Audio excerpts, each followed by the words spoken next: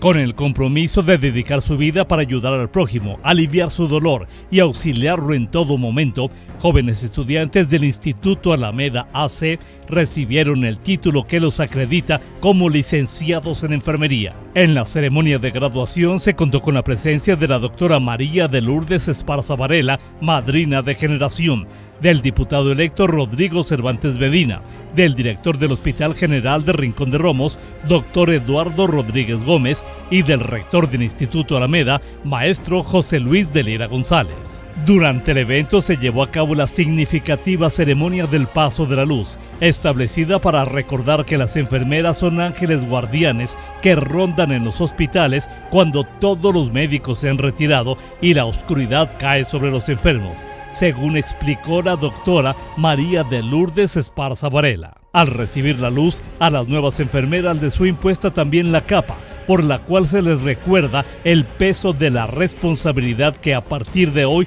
tendrán sobre sus hombros. Al dirigirse a los presentes, el rector del Instituto Alameda, maestro José Luis de Lira González, hizo notar que hoy se ha roto un paradigma y la licenciatura en enfermería no es solo para mujeres, sino también para hombres con un gran corazón con mucho humanismo, bondad y generosidad. En este sentido, el diputado local electo Rodrigo Cervantes Medina felicitó el esfuerzo del Instituto Alameda, de sus directivos y trabajadores por sacar adelante de manera exitosa un proyecto educativo de esta magnitud.